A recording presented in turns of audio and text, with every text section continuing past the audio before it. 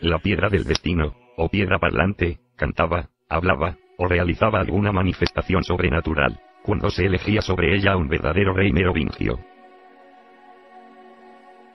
La piedra llegó a Irlanda, gracias a los descendientes de una de las tribus de Israel, la tribu de Dan. Esta misma piedra, declaró a Arturo, como legítimo rey merovingio, al comprobar su linaje cuando logró retirar de ella una espada.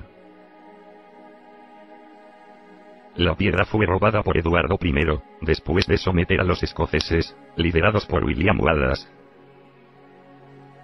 William Wallace es representado por Mel Gibson, en la película Corazón Valiente, donde muere crucificado como Jesucristo.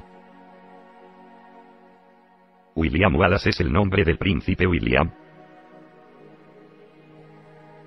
La triple X, relacionada con los Juegos Olímpicos y con el príncipe, representa a la Trinidad, a la diosa metamórfica de triple rostro, Hécate la diosa Diana, la diosa Istar, a Lucifer, el dios cornudo de triple rostro. Cuando se trata del príncipe William, sobran las coincidencias que nos llaman extremadamente la atención. Esto nos lleva a uno de sus personajes favoritos de los X-Men, Wolverine. Wolverine es un glaciar errante, ubicado en un archipiélago llamado Príncipe William, que queda en Alaska, cuyo principal lugar es Puerto Valdés, que fue completamente desaparecido por un tsunami ocurrido un Viernes Santo.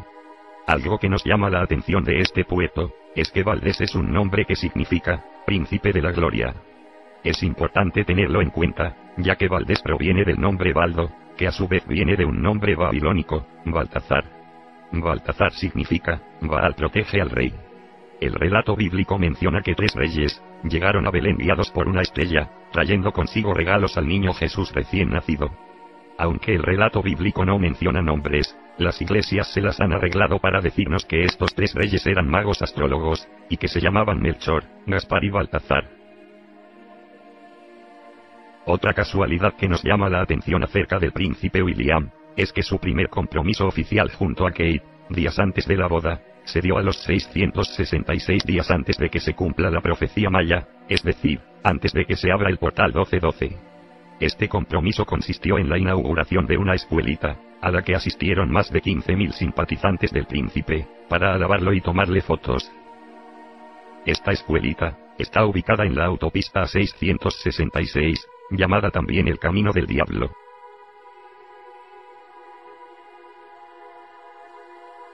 El día de la boda, William y Kate han sido llamados, duques de Cambridge. Cambridge es una población muy antigua, que queda a 80 kilómetros de Londres, y a tan solo 3 kilómetros de unos montes llamados Gog y Magog, donde se encontraron tres estatuas gigantes. Este descubrimiento se narra más a profundidad, en el libro llamado Los dioses enterrados. Al parecer las estatuas corresponden a un dios llamado Gog, y su esposa Magog, en Ezequiel capítulos 38 y 39, se habla de Gog y de Magog, relacionados con el anticristo. La vela en el viento, es un libro de Terence White, un escritor británico graduado de la Universidad de Cambridge. Trata de las últimas semanas de vida del rey Arturo, cuyo cuerpo de casi 3 metros de estatura, fue hallado en la abadía de Santa María. Su esposa fue coronada como la reina de Mayo. Al igual que Kate, esposa del príncipe William, durante un ritual sagrado, para representar uno de los rostros de la diosa triple, Hécate.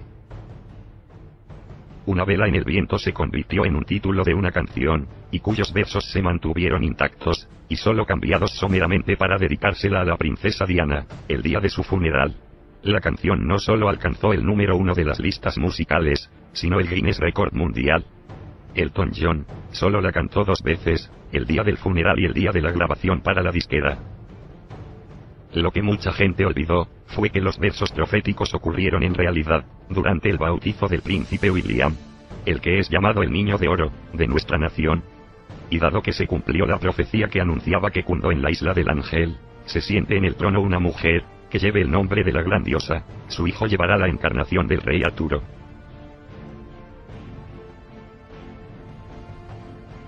El rey Arturo es conocido como un rey cristiano, justo, sabio, el mejor rey que jamás ha existido.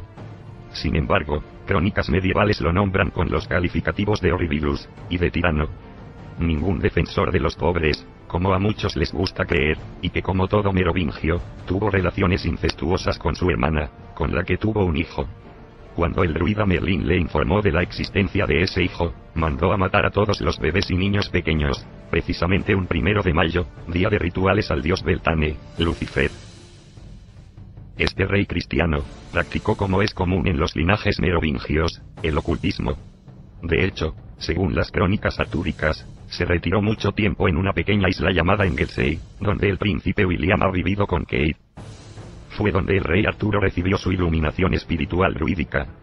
Igualmente se sabe que Arturo y sus caballeros de la mesa redonda se dedicaron a la búsqueda de artefactos mágicos, que permitieran la inmortalidad del rey. Entre estos se encuentra el caldero negro, en el cual podía sumergirse un muerto y podía ser resucitado. Incluso Arturo, mandó a exhumar la tumba de un rey gigante de tres metros de estatura llamado Bran, conocido como el espíritu guardián de Inglaterra, creyendo que al tener el cráneo de este gigante, le permitiría convertirse en el rey más grande jamás conocido.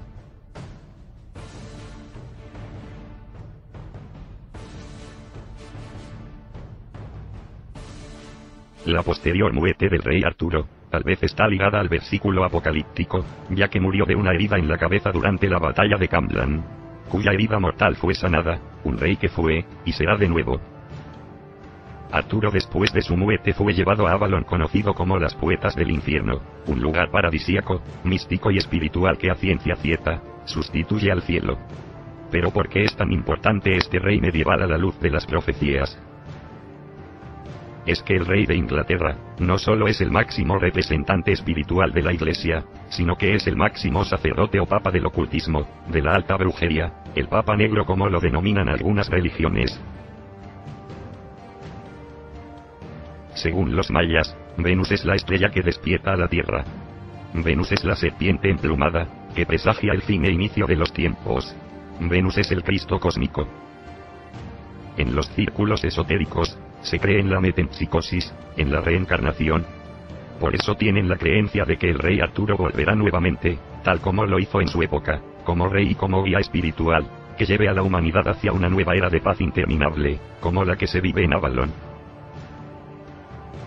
Es así, como llegamos a la conexión del príncipe William con Jesús.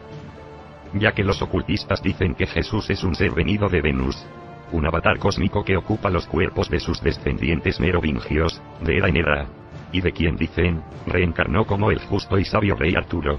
Dicen que Jesús volverá a reencarnar, para gobernar nuevamente como rey y sacerdote y es el príncipe William, el candidato más opcionado. Creen que cuando Jesús vuelva, el trono de David estará en la abadía de Westminster sobre la piedra del destino, estos metafísicos engañan a sus seguidores, basándose en la falsa descendencia de Jesús y María Magdalena, y en una frase mencionada por Jesús, pero de la cual no encontramos apoyo bíblico y dice, Vine como cordero, me crucificasteis, pero volveré como león.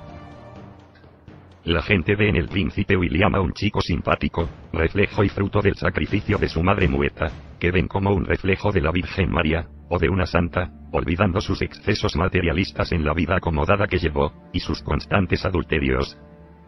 Con este documental intentamos acercarnos a la identidad del anticristo, del cual, el príncipe es el más calificado para serlo, ya que posee los más puros linajes merovingios de una dinastía 100% ocultista, y sedienta de poder. Ya la dinastía Tudor, déspotas, tiranos y dictadores, que gobernaron Gales por 117 años, y de quien tanto el príncipe William como Kate descienden. Los Tudor reclamaron en su tiempo, ser descendientes del rey Arturo.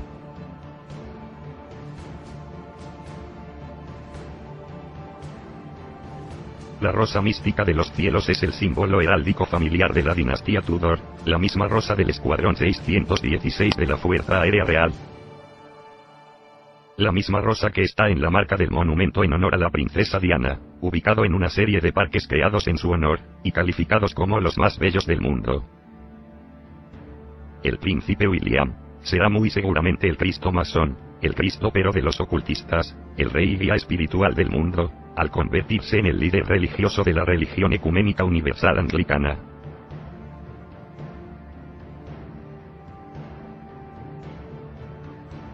El pavimento Cosmati, es un mosaico que representa el centro del universo, creado por el rey Enrique III.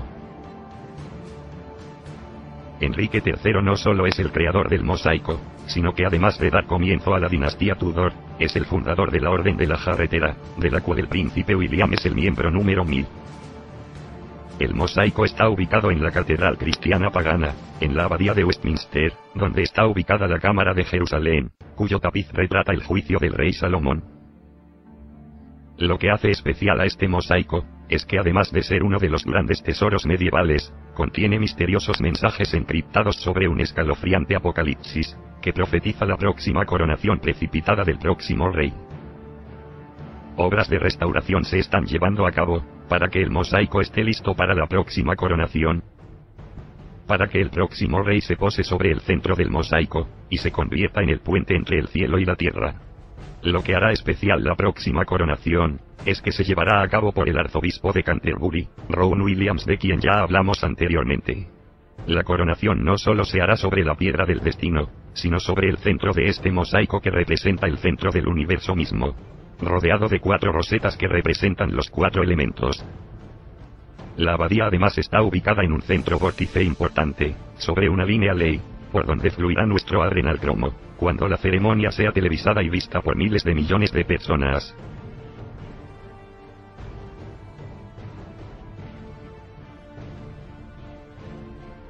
La figura de un rey, representa el centro de toda manifestación, ya que está en medio de lo social, lo político, lo religioso.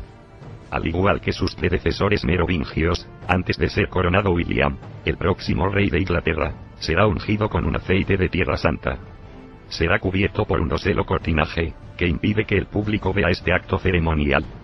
Según la tradición, cuando el rey sea ungido con el aceite santo, entonces bajará el Espíritu Santo, que no es otro que Lucifer que entrará en el cuerpo del rey, convirtiéndolo en el ungido, en el Cristo cósmico, transformándolo en un ser divino con autoridad divina, convirtiéndose en el sumo sacerdote de la iglesia, y en el líder de la tierra, de Sion, la nueva Babilonia, libertad y sensualidad,